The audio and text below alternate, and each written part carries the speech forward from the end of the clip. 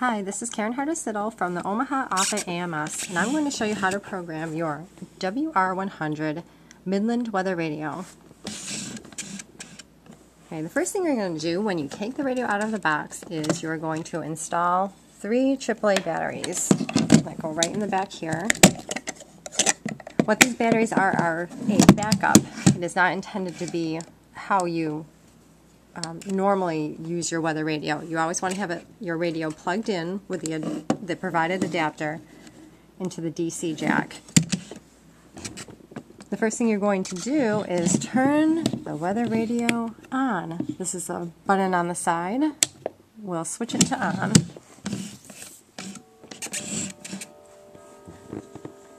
We're going to press menu.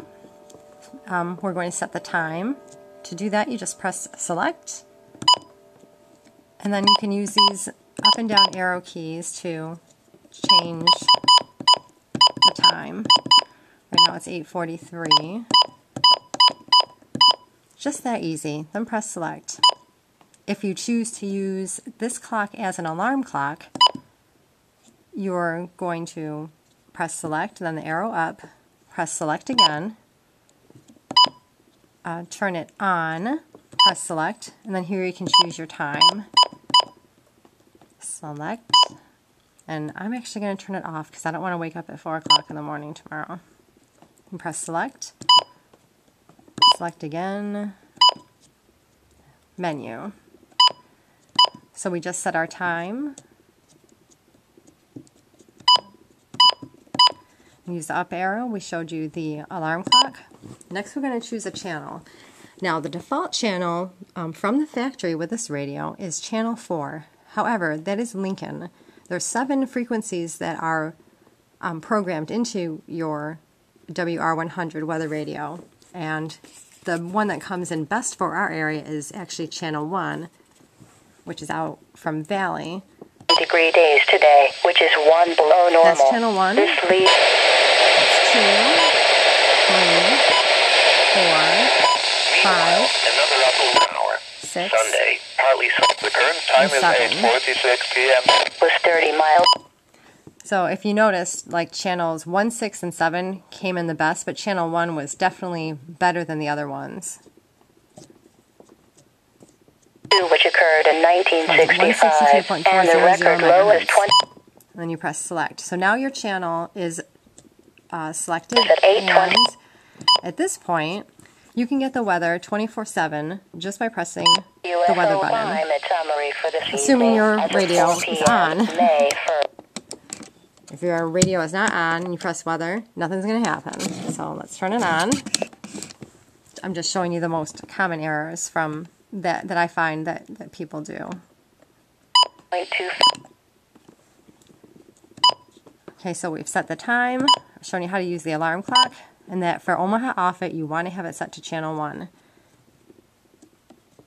At this point, we're going to choose the specific area message encoding for our area, which is going to be um, Douglas, Sarpy, and Saunders County.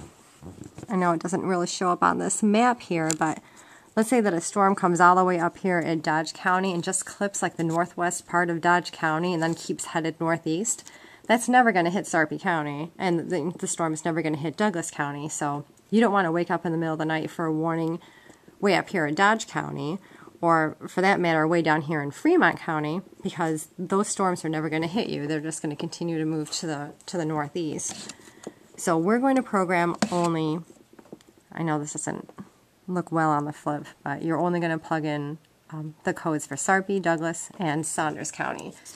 That will give you probably a good 30 minute leeway for a dangerous storm moving very quickly and headed your way. Let's see, let's go. Time, alarm, channel, same set. I'm going to hit select. The default from the factory is any. That means that it will go off for any one of these counties, and that's what we're trying to avoid. You can choose a single county, but that is only going to give you like a 10 minute leeway for a, or less, for a very fast moving storm. So it's always good to plug in um, a couple of surrounding counties too. So we're going to choose multiple. select.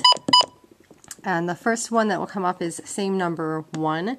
There's actually 25 channels you can pro program in here.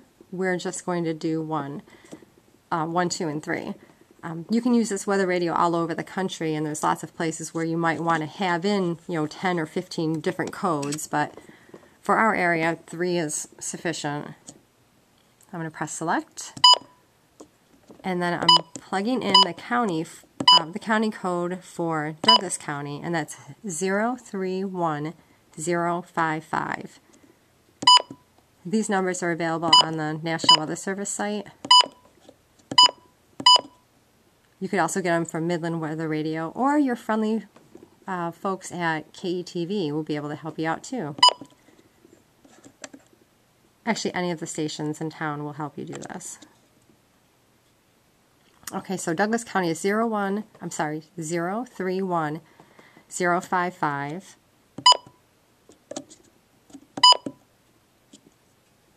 You press select, and that one's done.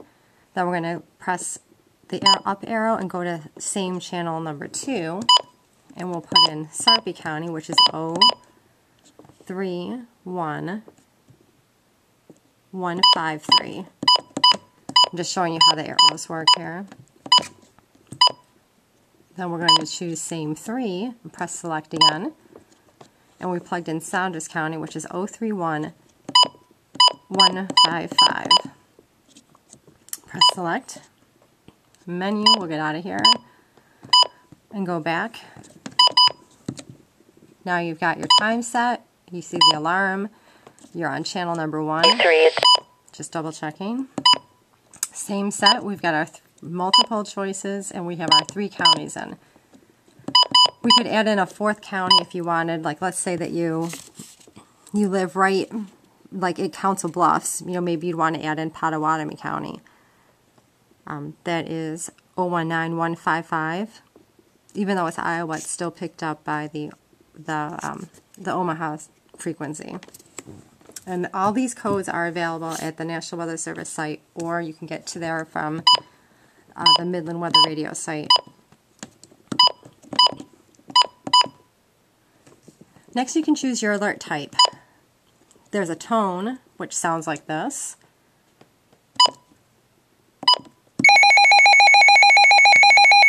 That's pretty loud, and um, if you choose tone, the tone will last for like 30 seconds and it will be followed by a voice which will let you know the actual hazard. So first it'll be like this you know wild sound that wakes you up and then it will turn into a voice that will tell you what the hazard is.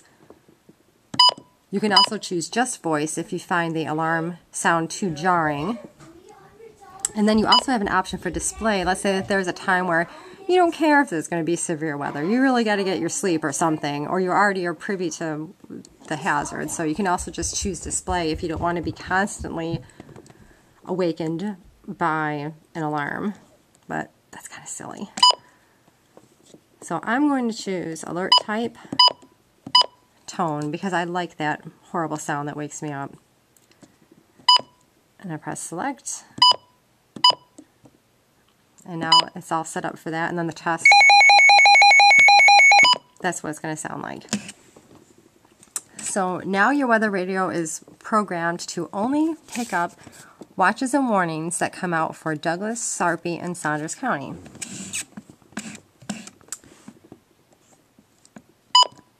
Let's see here.